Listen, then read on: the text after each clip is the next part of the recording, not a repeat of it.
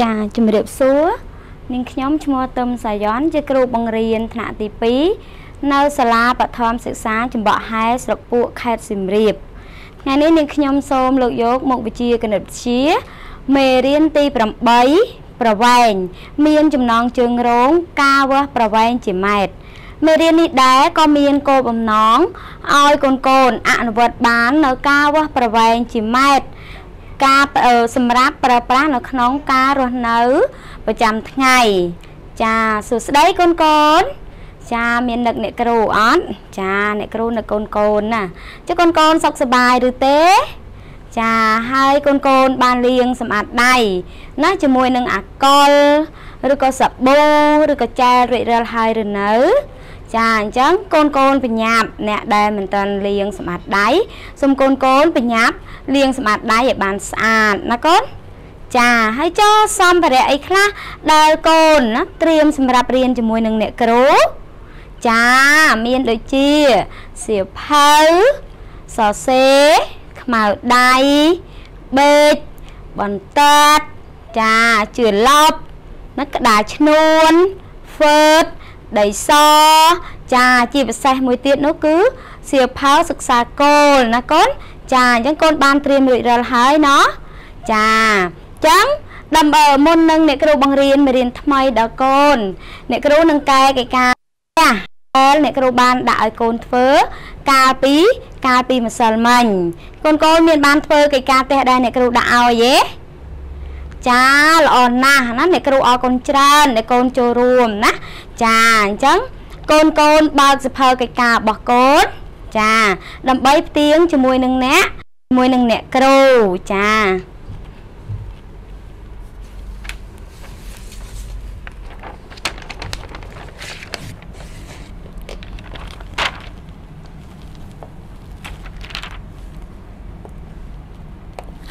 ចាអញ្ចឹងកំណែកិច្ចការផ្ទះម្សិលមិញណាអ្នកគ្រូនឹងកែ នឹងកែឲ្យកូន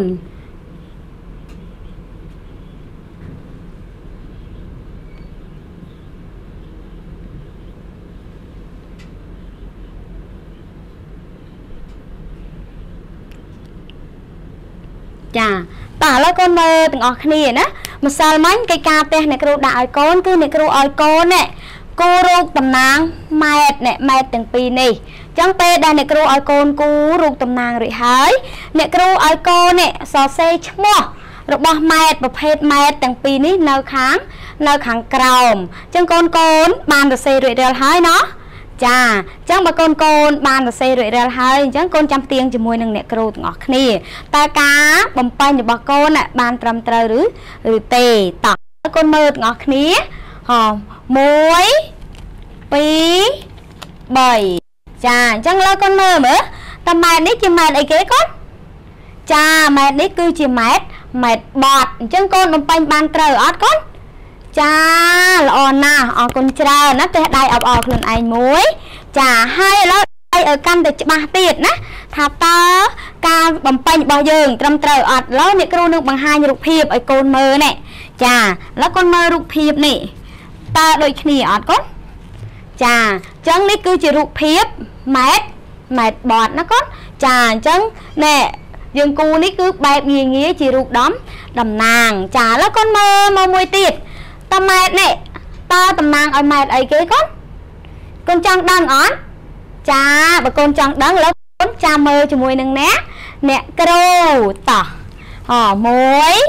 2 3ចាអញ្ចឹងកូនចាំមើលជាមួយនឹងអ្នកគ្រូទាំងអស់គ្នាចា នឹងអញ្ចឹងនេះគឺគេហៅថាម៉ែត្រម៉ែត្រអីគេកូនចាល្អណាស់គឺម៉ែត្របនបន្ទាត់ចាម៉ែត្របន្ទាត់អញ្ចឹងដើម្បីឲ្យកាន់តែច្បាស់ណាអ្នកគ្រូនឹងបង្ហាញរូបណែឲ្យកូនឃើញចាអញ្ចឹងមានលក្ខណៈដូចគ្នាឬក៏ស្តៀងគ្នាទេកូនចាណែត្រង់ដូចនឹងបនបន្តចាអញ្ចឹងកូនបំពេញលំហាត់ទី2នេះកូនបំពេញបានត្រូវអត់កូន ចាល្អមែនតេនអញ្ចឹងទេដៃអបអសតោខ្លួនឯងមួយតោះចាល្អណាស់ចាអ្នកគ្រូអរគុណច្រើនអញ្ចឹងដូច្នេះគឺរូបវាវាត្រង់ដូចគ្នាហ្នឹងគឺហៅថាម៉ែត្របនបន្តចាអញ្ចឹងម្សិលមិញអ្នកគ្រូនាំកូនស្គាល់ម៉ែត្រអញ្ចឹងបានម៉ែត្រមានស្គាល់អំពីម៉ែត្រនោះប្រហែលប្រភេទដែរកូន ចាល្អណាស់អ្នកគ្រូបង្ហាញម្សិលមិញគឺ4ប្រ4ប្រភេទចា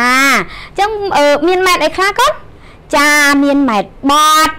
ចាម៉ែត្របន្ទាត់ណែដែលអ្នកគ្រូដាក់កិច្ចការឲ្យកូនធ្វើម៉ែត្ររំហើយនិងម៉ែត្រសំ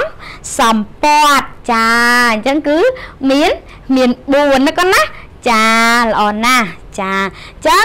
អឺថ្ងៃនេះអ្នកគ្រូនឹងនាំកូនណារៀនរៀនថ្មីមួយទៀតកូនចេះកូនចេះកូនស្គាល់ហើយណាស្គាល់អំពីប្រភេទម៉ែត្រអញ្ចឹងកូនចង់ចេះវាស់អត់កូនចង់យកម៉ែត្រដែលកូនស្គាល់នោះយកមកវាស់អីកូនវាស់វត្ថុវាស់ប្រវែងវត្ថុចង់អីកូន ចាល្អណាស់អញ្ចឹងបើកូនចង់ថ្ងៃនេះអ្នកគ្រូនឹងនាំកូនណារៀនអំពីការវាស់ប្រវែងជាជាម៉ែត្រចាអញ្ចឹងកូនចាំត្រៀមរៀនជាមួយនឹងអ្នកគ្រូណាកូនណាចា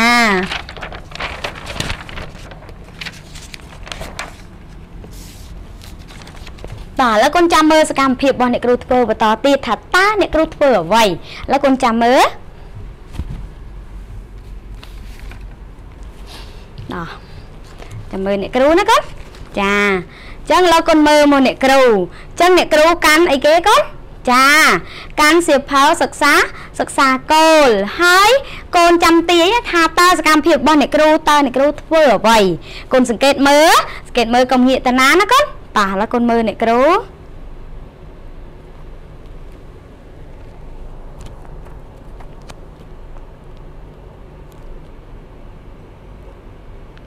ឃើញទេកូនឃើញអ្នកគ្រូធ្វើអត់តាសកម្មភាពនេះអ្នកគ្រូធ្វើអីដែរកូនចាល្អណាស់គឺអ្នកគ្រូវាស់ណាវាស់វាស់អីគេកូនចាវាស់ប្រវែងវាស់ប្រវែងសៀវភៅសិក្សាសិក្សាគោលអញ្ចឹងអ្នកគ្រូវាស់ប្រវែងមិញតើអ្នកគ្រូយកអ្វីមកវាស់អ្នកគ្រូប្រើអីគេកូន ចាល្អណាស់គឺអ្នកគ្រូប្រើធ្នាប់ណាអ្នកគ្រូប្រើធ្នាប់ដៃយើងរៀនរួចហើយកាលពីមេរៀនមុនតែអ្នកគ្រូប្រើធ្នាប់ដៃនេះដឹងប្រវែងជាក់លាក់អត់កូនចាអត់ដឹងប្រវែងជាក់លាក់ច្បាស់លាស់ទេណាដូចអ្នកគ្រូធ្លាប់ប្រាប់ហើយគឺជាຂະຫນាតដែលមិនស្តង់មិនស្តង់ដាប៉ុន្តែយើងអាចវាស់ឲ្យដឹងពីប្រវែងបានណាកូនណាចាឥឡូវកូនមើលអ្នកគ្រូបន្តទៀតតោះអញ្ចឹងនេះគឺជា ចានេះគឺជារូបតំណាងឲ្យម៉ែត្រទាំង4ដែលយើងរៀនកាលពីម្សិលម្សិលមិញចាមានម៉ែត្រអីខ្លះកូនមើលមើលចាម៉ែត្រនេះម៉ែត្រអីគេចាគឺម៉ែត្រម៉ែត្របត់ចានេះគឺម៉ែត្របត់បន្ទាប់មកនេះគេហៅម៉ែត្រអីគេកូនម៉ែត្រអីគេចាម៉ែត្ររំចាចានេះម៉ែត្របនបន្ទាត់ចាចានេះ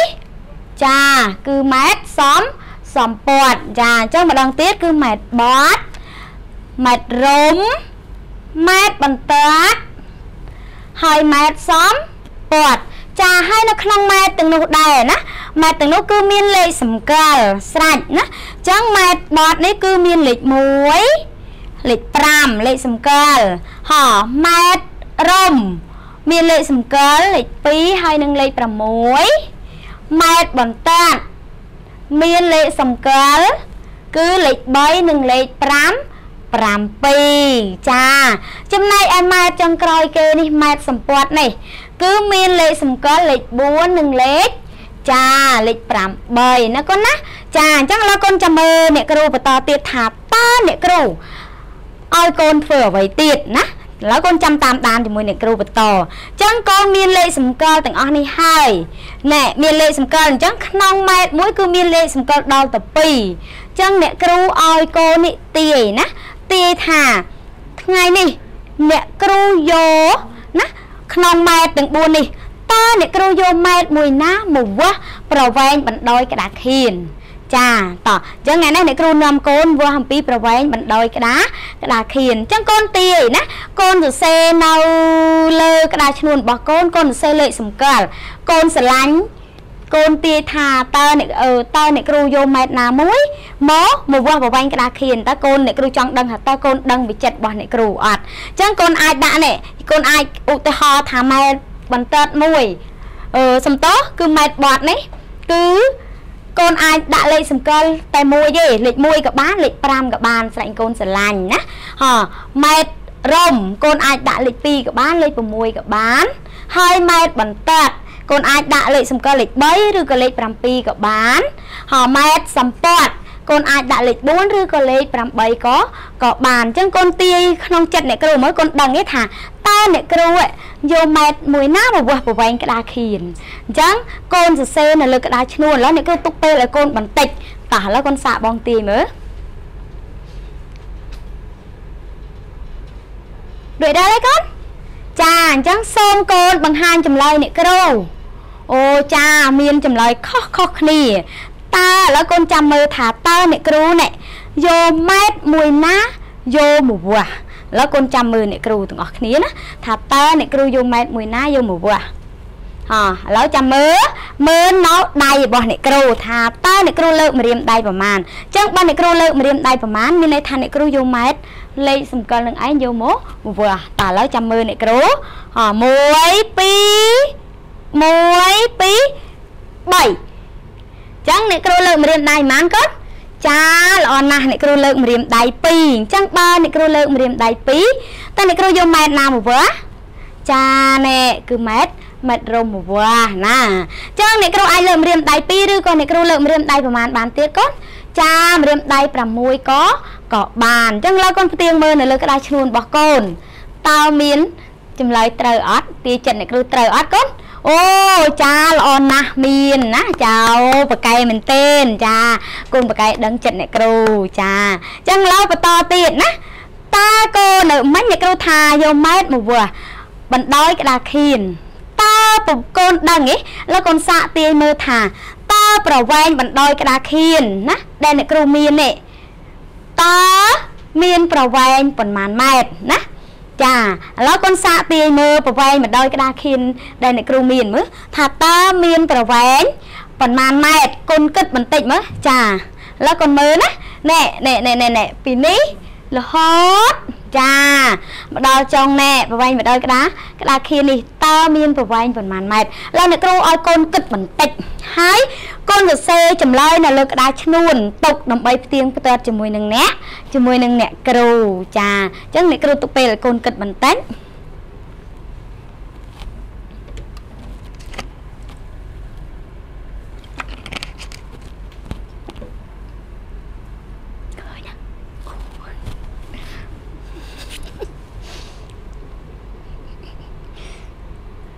ហើយណាកូនអូចាល្អណាស់អញ្ចឹងកូនចាំមើលទាំងអស់គ្នាណាអញ្ចឹងកូនចង់ដឹងអត់កូនចង់ដឹងអត់ចង់អូចាអញ្ចឹងបើកូនចង់ចាអញ្ចឹងបើកូនចង់តោះយើងចូលរួមវាស់ជាមួយនឹងអ្នកគ្រូទាំងអស់គ្នាអ្នកគ្រូវាស់នៅនេះហើយកូនមើលពីរបៀបអ្នកគ្រូវាស់បានទេកូន ចាអញ្ចឹងកូនកុំងាកតាណាណាកូនមើលជាមួយនឹងអ្នកគ្រូចានេះគឺម៉ែត្រអីគេមិញចាម៉ែត្ររំអញ្ចឹងអ្នកគ្រូនឹងយកម៉ែត្ររំនេះមកវាស់ប្រវែងបណ្ដោយក្តារក្តារខៀនតោះដំបូងមុននឹងយើងវាស់ណាដូច្នេះគឺយើងចាប់ទាញនេះយើងចាប់ទាញមកសិនហើយឥឡូវកូនមើលអ្នកគ្រូបន្តណាចាអញ្ចឹងមើលទាំងអស់គ្នាតោះអ1 2 3អញ្ចឹងអ្នកគ្រូដាក់នេះចា មើលពីរបៀបអ្នកគ្រូវើ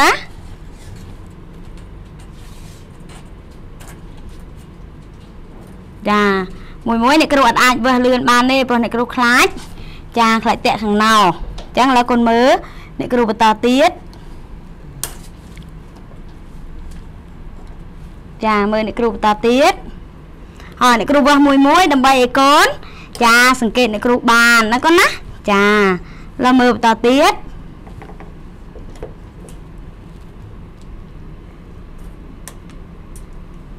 តោះមើលតទៀត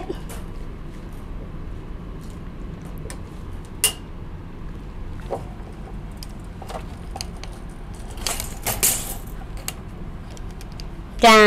ឡូវកូនមើលមើលអស់នៅអស់នៅកូនចានៅទេចាអញ្ចឹងដោយសារតែអឺម៉ែត្ររបស់យើងអត់ក្របអញ្ចឹងយើងចាឥឡូវកូនមើលណាមើលបន្តទៀតសិនណាកូនណា ចឹងអ្នកគ្រូដាក់ត្រឹមត្រឹម2នេះសិនណាកូនណាចា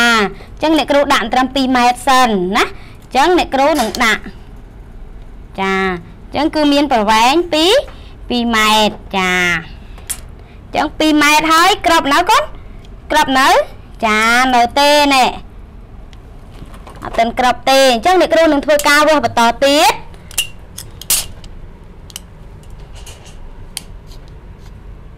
ចាឡើងកូនចាំមើលចឹងបាន2ម៉ែត្រហើយណាកូនណាចាអញ្ចឹងអ្នកគ្រូបន្តមកតមកទៀតណែចឹងអ្នកគ្រូនឹងបន្តបន្តមកទៀតឡូវបាន2ម៉ែត្រត្រឹមណាឡូវកូនមើលឃើញអត់មិញឃើញអត់កូនចាឥឡូវបើមើលកូនមើលអត់ច្បាស់ទេអ្នកគ្រូវាស់ឲ្យកូនមើលម្ដងទៀតណាកូនណាចា តោះឥឡូវមើលបន្តទៀតណែអញ្ចឹងមិញ2ម៉ែត្រហើយ2ម៉ែត្រហើយអ្នកគ្រូនឹងចានឹងបន្តចាឥឡូវមើលបន្តទៀតណាមិញ2ម៉ែត្រចាតទៀតអញ្ចឹង2ម៉ែត្រអ្នកគ្រូថែមណែណែណែចាំចាំលេខ6ណែអញ្ចឹងចាំលេខ6នេះគឺ2ម៉ែត្រហក60គុណមើលឃើញអត់ណែ ណែណែណែណែចា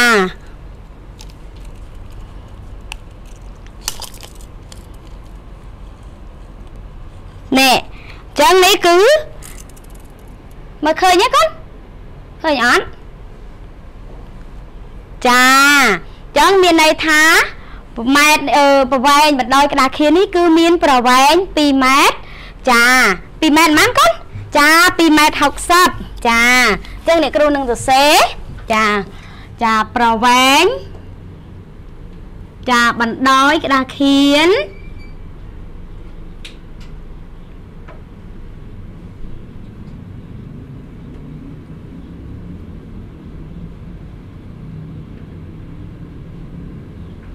ដាខៀនចាមាន ចាឬក៏យើងអាចដាក់ថាបណ្ដោយក្តារខៀនមុនក៏បានដែរណាកូនចាបណ្ដោយក្តារខៀនមានប្រវែង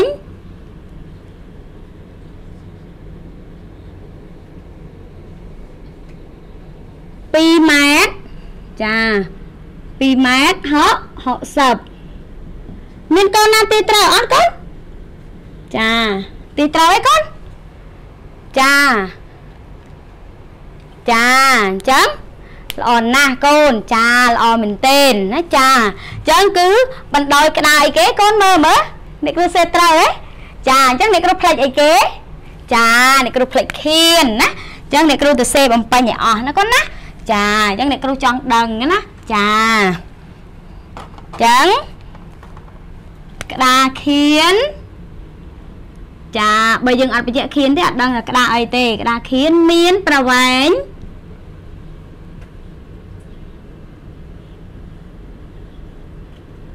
2ម៉ែត្រហក60ចាតោះឥឡូវកូនអានជាមួយអ្នកគ្រូតោះបណ្ដោយក្តារខៀនមានប្រវែង2ម៉ែត្រ60ចាតោះឥឡូវកូនអានអ្នកគ្រូអ្នកចង្អុលអើយ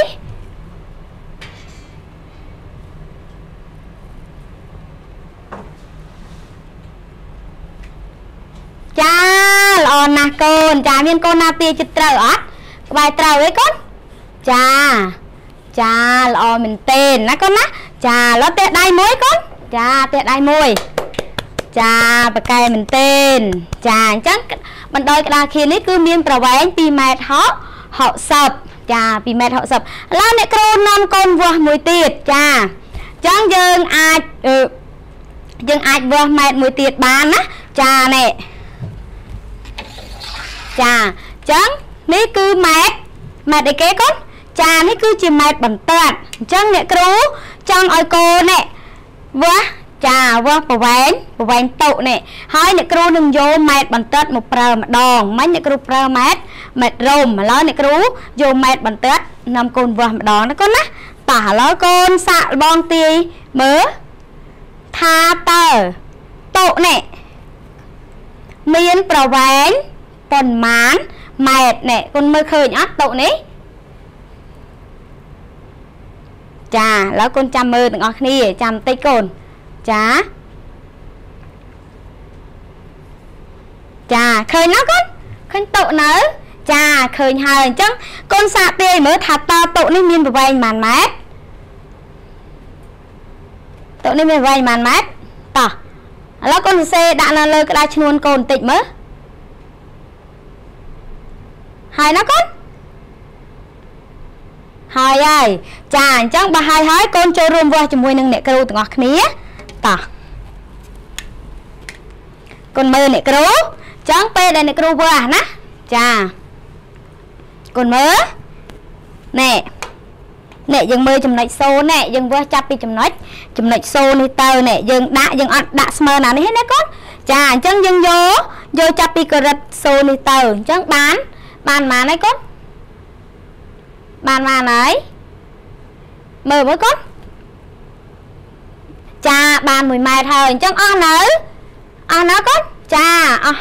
នៅអញ្ចឹងបើនៅអ្នកគ្រូនេះក្រិតនេះក្រិតវាបន្តិចមកនេះចាអញ្ចឹងអ្នកស្នាមអ្នកគ្រូក្រិតអញ្ចឹងយើងបាន1 1ម៉ែត្រហើយឥឡូវយើងបន្តមកទៀតណា ចឹងយើងយកដាក់វាស់បន្តមកយើងយកណែយើងយកអាចំណុចសូននេះយើងវាស់ចាប់ពីគំនូក្រហមនេះមកចឹងបាន2ម៉ែត្រប៉ុន្មានកូនចា2ម៉ែត្រ40បន្តិចខ្វះបន្តិចបាន2ម៉ែត្រ40ចាអូសំតោគឺមិញប៉ុន្មានកូន1ម៉ែត្រចាគឺ1ម៉ែត្រ40កូនមិញទីអានត្រឹមត្រូវអត់កូនទីត្រូវហ៎មានអ្នកត្រូវអត់ចាល្អណាស់ចឹងចាចឹងដូច្នេះគឺ តកចាបណ្ដោយតក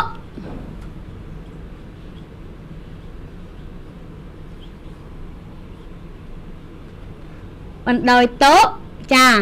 មានប្រវែង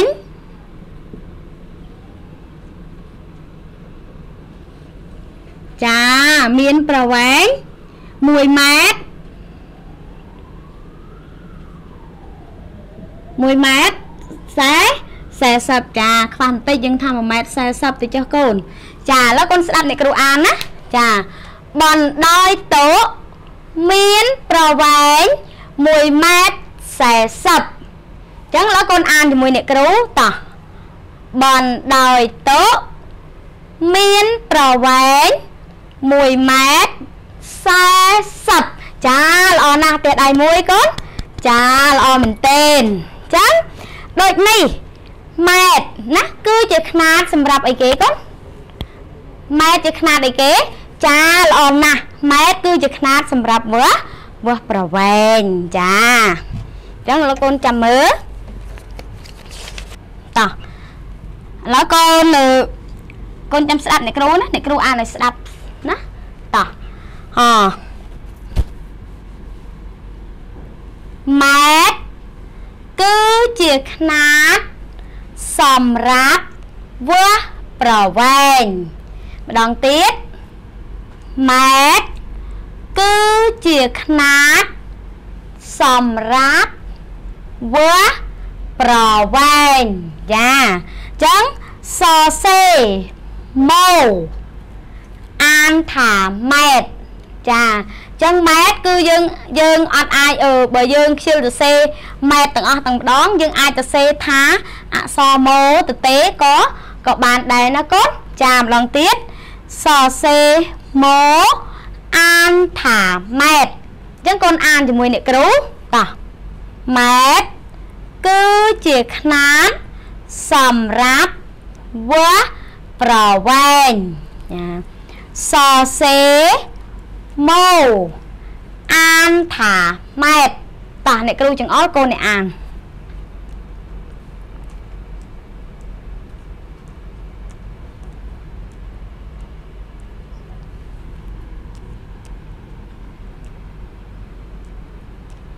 ចាល្អណាស់កូនចាល្អមែនទែនអញ្ចឹងអឺ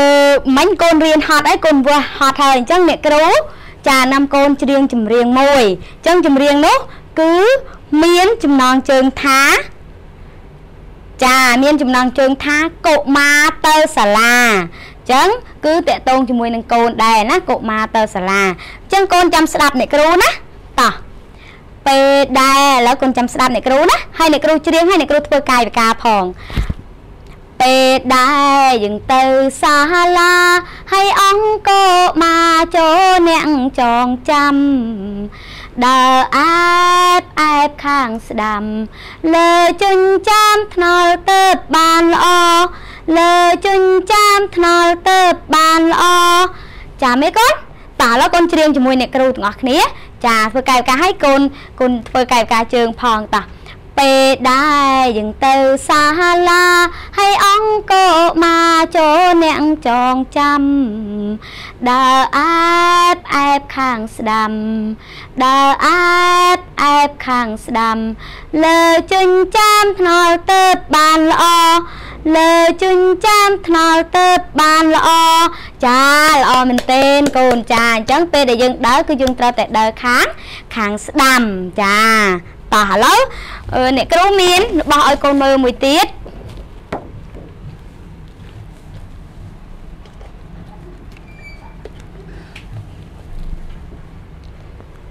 តោះឥឡូវកូនមើលទាំងអស់គ្នាណាចឹងកូនឃើញណាកូនមើលទាំងអស់គ្នានេះគឺជារូបភាពមួយណាចាឥឡូវកូនមើលចឹងអឺកូនមើលខាងក្រោមនេះរូបភាពនេះមានអីខ្លះរូបភាពនេះចាមានដូចជាផ្ទះ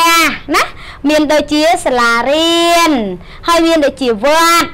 ហើយមានដូចជាមន្ទីរមន្ទីរពេទ្យអញ្ចឹងនៅក្នុងភូមិរបស់កូនមានអត់នៅក្នុងភូមិរបស់កូនមានអត់មានផ្ទះទេចាមានចាសាលារៀនមានអត់ចាសាលារៀនក៏មានចាមន្ទីរពេទ្យចាមន្ទីរពេទ្យក៏មានចាវត្តចាវត្តក៏ក៏មានអញ្ចឹងនៅផ្ទះរបស់កូននៅភូមិរបស់កូនគឺមានដូចដូចគ្នា ចាអញ្ចឹងឥឡូវកូនមើលនៅខាងក្រោមណាគេដាក់ថា ផ្លូវពីផ្ទះទៅវត្តមានប្រវែងណាចាហើយម៉ូនេះគឺចំនួនដោយពាក្យម៉ែត្រណាកូនណាចាអញ្ចឹងដូចអ្នកគ្រូបានបង្ហាញកូនហើយអ្នកកាលពីមេរៀនយើងអ្នកគ្រូប្រាប់មុនចាគឺម៉ូម៉ូនេះគឺចំនួនឲ្យម៉ែត្រអញ្ចឹងឡើយកូនមើលថាតើផ្លូវពីផ្ទះទៅវត្តមានប្រវែងប៉ុន្មានម៉ែត្រអញ្ចឹងឡើយកូនរកផ្ទះឃើញអត់កូនចានេះជាជាផ្ទះចឹងណាវត្តកូន ចានេះវត្តណានេះផ្ទះនេះវត្តអញ្ចឹងឡើយកូនមើលថាប្រវែងពីផ្ទះទៅវត្តតើមានប្រវែងប្រហែលម៉ែត្រអញ្ចឹងកូនសរសេរនៅលើក្តារឈ្នួនបង្ហាញអ្នកគ្រូឥឡូវកូនមើលតោះអ្នកគ្រូរាប់ដល់5 1 2 3 4 5ចាសូមកូនបង្ហាញចម្លើយអ្នកគ្រូអូចាល្អមែនអញ្ចឹងឥឡូវកូនចាំមើលមើលថាតើ ការបំពេញរបស់កូននេះត្រឹមត្រូវឬអត់អញ្ចឹងឥឡូវកូនមើលពីផ្ទះអឺផ្លូវពីផ្ទះទៅវត្តមានប្រវែងប៉ុន្មានម៉ែត្រកូនចាពីផ្ទះទៅវត្តនេះគឺមានប្រវែង920 20ម៉ែត្រអញ្ចឹងអ្នកគ្រូទៅសេ920ម៉ែត្រចាអញ្ចឹងត្រូវទេកូនចាដូចគ្នាណា920ម៉ែត្រแล้วក៏មកបន្តទៀតផ្លូវពីសាលារៀន តៅផ្ទះមានប្រវែងប៉ុន្មានម៉ែត្រឥឡូវកូនណាសាលារៀនកូនរកឃើញអត់ចានេះសាលារៀនចាណាផ្ទះចានេះផ្ទះឥឡូវនេះសាលារៀននេះផ្ទះឥឡូវកូនមើលមើលតើប្រវែងនេះពីសាលារៀនទៅផ្ទះមានប្រវែងប៉ុន្មានម៉ែត្រឥឡូវកូនមើលបន្តិចមើលតោះមើលបន្តិចមើលហើយពេលដែលកូនមើលរួចហើយអញ្ចឹងកូនសរសេរចម្លើយបង្ហាញអ្នកគ្រូនៅលើក្តារឈ្នួន តោះឥឡូវអ្នកគ្រូទុកពេលឲ្យកូនបន្តិច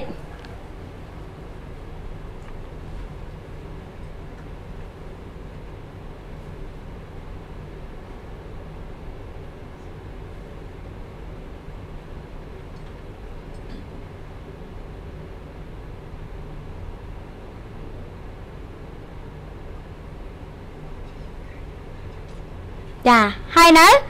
សូមកូនបង្ហាញចម្លើយអ្នកគ្រូ ចាឃើញណាកូនឃើញអត់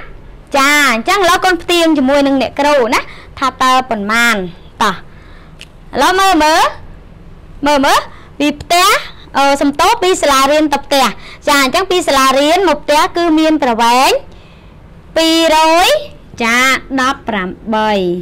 218ចាចឹងឥឡូវកូនផ្ទៀងមើលចម្លើយរបស់កូនជាមួយនឹងអ្នកគ្រូ ត្រូវគ្នាអត់ត្រូវអត់កូនត្រូវឯងមើលមើលត្រូវអត់អូចាល្អណាស់ចាប៉កែមែនទេឥឡូវផ្ទះដៃមួយចាអញ្ចឹងគឺផ្លូវពីសាលារៀនទៅផ្ទះមានប្រវែង218ម៉ែត្រចាលោកកូនមើលចុងក្រោយណាផ្លូវពីមន្ទីរពេទ្យណាចាផ្លូវពីវត្តទៅមន្ទីរពេទ្យអញ្ចឹងឯណាវត្តកូនឃើញអត់វត្តចានេះវត្ត ចឹងណាមន្ទីរពេទ្យចានេះមន្ទីរពេទ្យឡើយកូនមើលពីវត្តមកមន្ទីរពេទ្យតើមានប្រវែងប៉ុន្មានម៉ែត្រចាតោះឡើយកូនមើលមើលមានប្រវែងប៉ុន្មានម៉ែត្រ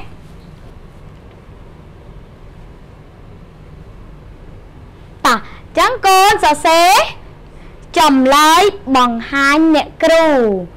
តោះសេនៅលើក្តារឈ្នួលមកអ្នកគ្រូទុកពេលឲ្យបន្តិច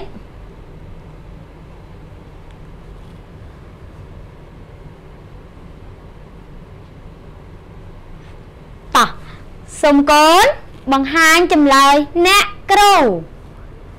ចាអញ្ចឹងដូច្នេះពីមន្ទីរពេទ្យពីវត្តនេះពីវត្តមកមន្ទីរពេទ្យគឺមានប្រវែង320ម៉ែត្រអញ្ចឹងអ្នកគ្រូសរសេរណា320ម៉ែត្រចាចា320ម៉ែត្រអញ្ចឹងត្រូវដូចនឹងក្តារឈ្នួនកូនអត់អូចាល្អណាស់កូនបកែមែនទេឥឡូវទេដៃមួយ ចាបកែណាស់ចាអញ្ចឹងត្រឹមត្រូវហើយកូនធ្វើបានត្រូវគ្រប់គ្រប់គ្រប់គ្នាណាចាអញ្ចឹងអ្នកគ្រូឲ្យកូនឥឡូវកូនយកសភៅមកកូនចាយកសភៅសេរបស់កូនកូនគាត់មេរៀនបន្តិចអត់ច្រើនទេកូនចាអញ្ចឹងកូនដាក់ថាដាក់តាមេរៀននេះមកបានហើយនេះការវាស់ប្រវែងជាម៉ែត្រអញ្ចឹងកូនឃើញទេណា ចាការវាស់ប្រវែងជាម៉ែត្ររួចហើយកូនគាត់អាពីបន្ទាត់ខាងក្រោមនេះឲ្យអ្នកគ្រូណាអ្នកគ្រូទុកពេលឲ្យកូនបន្តិចណាតោះឥឡូវសូមកូនគាត់បន្តិចមក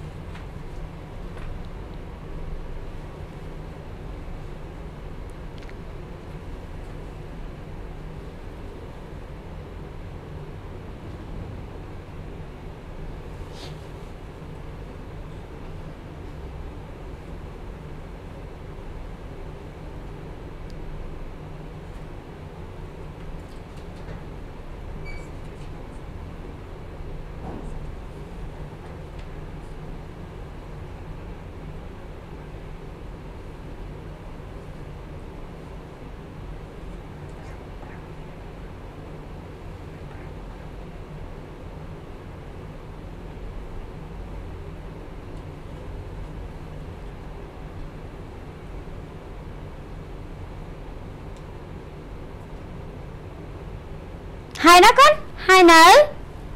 ចាអូឡំបន្តិចទៀតទេចាបន្តិចទៀតទេតាបញ្ចប់បន្តិច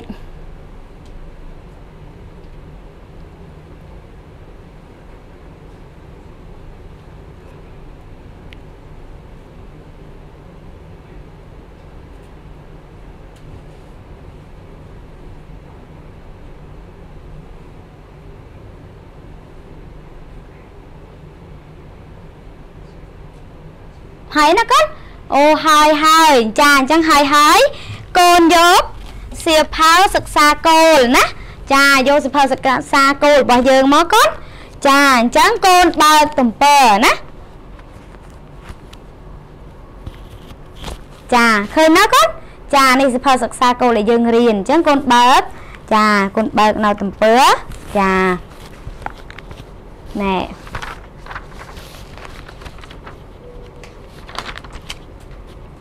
ណែទំព័រ60ចាទំព័រ60ឃើញទេកូនចាណែទំព័រ60លំហាត់លេខ1ឃើញអត់កូនចាទំព័រ60លំហាត់លេខលេខ1ចាអញ្ចឹងគឺកិច្ចការផ្ទះដែលអ្នកគ្រូដាក់ឲ្យកូនធ្វើគឺធ្វើលំហាត់ទំព័រ60 លំហាត់លេខ1កូនអត់បាក់គូរូបអីទេកូនកូនគ្រាន់តែបំពេញកូនសេអក្សរកខកមកហើយកូនមើលរូបឲ្យបំពេញមកណាកូនណាចាដល់បានទេកូនចាអញ្ចឹងកូនសរសេរកចម្លងកចូលមកចម្លងខហើយចម្លងកបន្ទាប់មកកូនមើលរូបកូនមើលរូបហើយកូនបំពេញតាមនោះដូចដែលអ្វីដែលអ្នកគ្រូបានឲ្យកូនធ្វើកាលពីមុនដាក់នៅលើក្តារឈ្នួនស្ដាប់បានទេកូន ចាចាអញ្ចឹងគឺអ្នកគ្រូសួរបញ្ជាក់ឡើងវិញម្ដងទៀតអ្នកគ្រូឲ្យកូនធ្វើលំហាត់ទៅធ្វើទីប៉ុន្មានកូនចាល្អណាស់គឺលំហាត់ទំពើ60ចាលំហាត់លេខលេខ1ចាអញ្ចឹងលំហាត់ទំពើ60អឺសំទោលំហាត់ទំពើ60ហើយលំហាត់លេខលេខ1ចាហើយចុងក្រោយ អ្នកគ្រូណាអរគុណកូនមែនតេនណាដែលកូនបានចូលរួមរៀនជាមួយនឹងអ្នកអ្នកគ្រូចាអញ្ចឹងស្អែកកូនកុំភ្លេចណាចូលរៀនចូលរួមរៀនជាមួយនឹងអ្នកគ្រូជាបន្តទៀតតាមពេលវេលានឹងម៉ោងដល់ដល់ដែលហើយមិញឯងកូនពេលដែលកូនរៀននេះកូនមានចាប់កាន់របស់ជាច្រើនណាចាអញ្ចឹងកូនកុំភ្លេចលាងដៃជាមួយនឹងសាប៊ូចាឬក៏អាល់កុល ឬក៏ក៏ចោលឲ្យបានស្អាតនិងឲ្យបានញឹកញឹកញាប់ហើយកូនកាត់កញ្ចក់ឲ្យខ្លីកូនឧស្សាហ៍សម្អាតខ្លួនប្រាណឲ្យបានស្អាតណាហើយកុំសូវតលេងកន្លែងដែលមានមនុស្សមនុស្សច្រើនហើយជួយធ្វើកិច្ចការប៉ាម៉ាក់យើងផងហើយកូនអាចតាមដានរៀនជាមួយនឹងអ្នកគ្រូណានៅក្នុងទូទាស់ចាគឺទូទាស់ជាតិកម្ពុជាទី2ឬក៏យើងហៅថាតូតូតូតូក2ឬមួយទៀតទូទាស់ចាផ្កាយរណបដែលចូល DTV ចាប៉ុសលេខ20ហើយមួយទៀតគឺប៉ុសទូទាស់ខ្សែកាបថ្មី ចាដែលទៅនឹងបង្កើតចាក្របខេត្តរាជធានី